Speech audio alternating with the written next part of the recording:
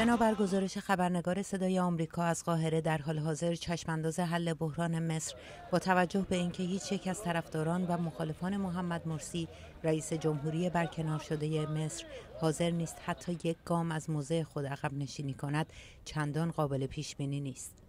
راهپیمایی طرفداران مرسی روز گذشته بدون حادثه برگزار شد. چادرهای آنها در میدان رابعه ادبیه همچنان باقی است و مخالفان مرسی هم از روز سهشنبه تاکید کردند که آنها هم دست از مقاومت بر نخواهند داشت. بحران مصر بحث زیادی را در میان سیاستمداران آمریکایی برانگیخته و برخی می‌پرسند آیا درست است که در چنین شرایطی آمریکا به کمک‌های اقتصادی و نظامی خود به مصر ادامه دهد؟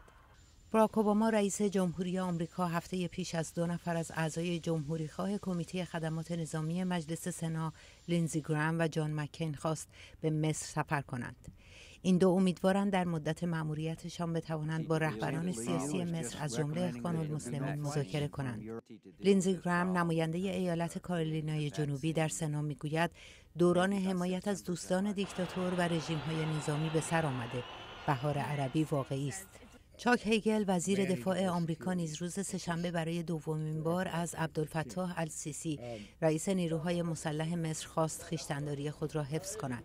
منا خبرگزاری رسمی مصر می‌گوید یک هیئت بلندپایه از اعضای اتحادیه آفریقا به سرپرستی آلفا عمر کناره رئیس جمهوری سابق مالی روز چهارشنبه با محمد مرسی در محلی نامعلوم ملاقات کرد. این هیئت قرار است امروز چهارشنبه گزارش دیدارش را در اختیار نبیل العربی دبیر کل اتحادیه آفریقا و رسانه های خبری قرار دهد.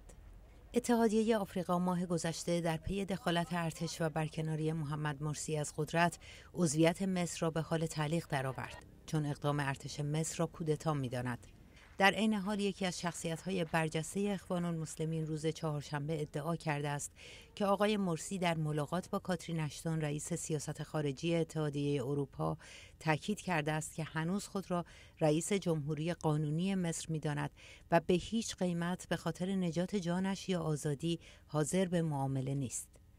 پروانه هدایت صدای آمریکا